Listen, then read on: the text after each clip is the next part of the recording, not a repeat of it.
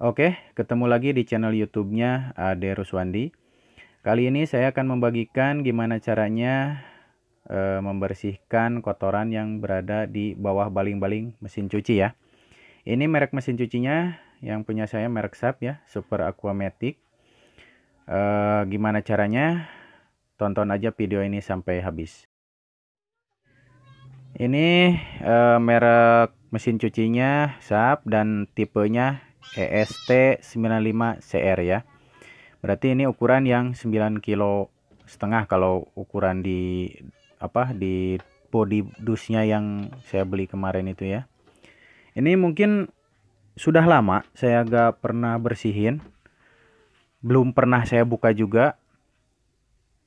Kurang lebih ini udah satu dua tahunan mungkin atau lebih ya. Saya lupa ini belinya tanggal berapa ini saya lupa. Mungkin sekitar segitu. Ini saya membuka dulu tutup e, baut sini ya. Ini menggunakan obeng kecil yang e, pipih ya yang min. Dicongkel seperti itu dan sudah terbuka dan kelihatan di situ ada baut besar.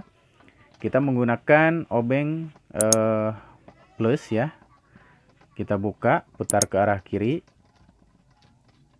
Dan ini kelihatan sangat kotor sekali.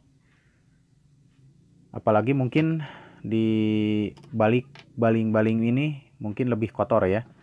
Kita coba copot dulu baling-baling yang besar ini. Kita angkat seperti ini sangat gampang. Wow. Seperti itu kotoran di dalamnya. Ternyata selama ini saya belum pernah buka dan selama ini saya tidak pernah bersihin. Ternyata kotorannya seperti ini kita coba masukin dulu air dan kita sikat-sikat biar bersih.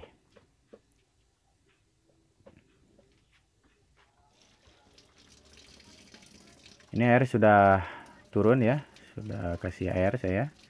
Ambil sikat sikat kecil aja, sikat bekas kita gosok gigi ya mungkin kalau masih punya kalau bekasnya nggak dibuang kita pakai seperti ini kita bersihin ini kotorannya sangat banyak sekali ya. Mencuci baju kita bukannya bersih mungkin malah tambah kotor ini. Kita kosok-kosok dulu sampai bersih ya.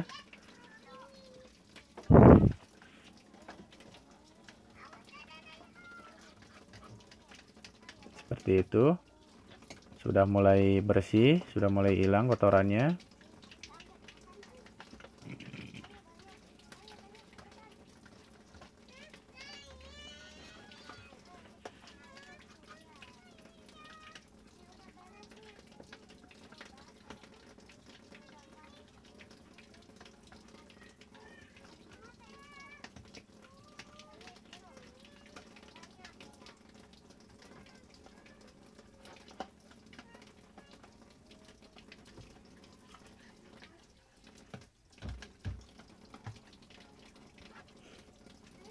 ini sudah mulai hilang.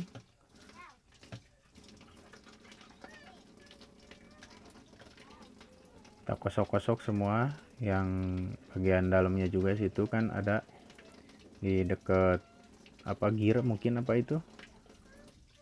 Bersihin dulu semua biar bersih. Ini saya akan bersihin baling-balingnya gak di mesin cuci ini. Saya akan bawa ke WC nanti kalau udah bersih saya kasih video lagi. Ini yang di mesin cuci sudah bersih. Uh, udah kinclong ya. Dan baling-balingnya juga saya sudah bersihin di WC ya. Kamar mandi ini sudah bersih. Dan saya tadi mencopot untuk yang eh, baling-baling uh, kecilnya itu. Ini sudah bersih semua ya dan ini cara pasangnya saya kasih tahu ya. Situ kan ada mungkin centilan itu. Tadi pas waktu bukanya saya sama menggunakan obeng yang min kecil itu saya congkel sedikit sambil dicopot. Dan ini cara pemasangannya seperti ini.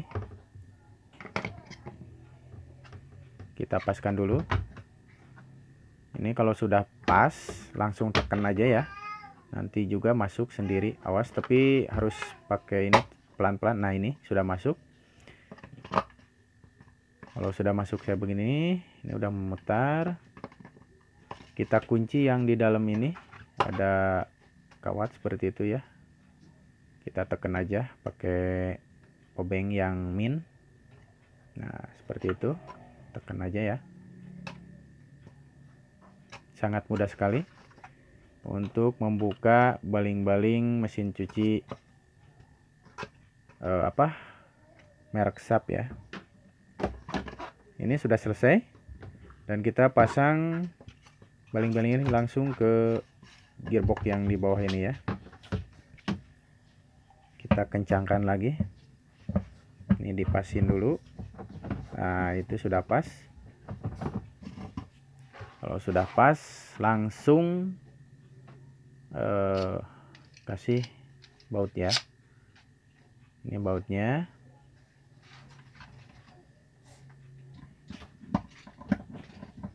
Kencangkan putar ke sebelah kanan. Seperti biasa kita mengunci apa putarannya itu kan sebelah kanan ya untuk mengencangkan. Kalau sudah terasa kencang, selesai. Kita pasang nanti tutupnya ya. Nah, ini sudah kencang sekali.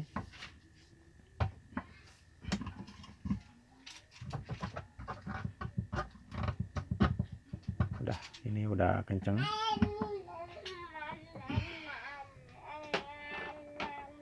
Nah, ini tutupnya.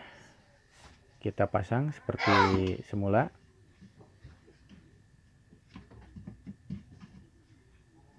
kita pasin dulu kalau sudah pas langsung tekan sampai bunyi klik ya. Nah itu. Sudah terpasang rapih kembali ya. Saya coba putarin pakai listrik. Itu. Sudah normal kembali sudah cocok pas ya. Dan sudah bersih. Terima kasih sudah menonton video ini. Mudah-mudahan video ini berguna untuk kalian semuanya. Dan dukung juga like dan subscribe video ini ya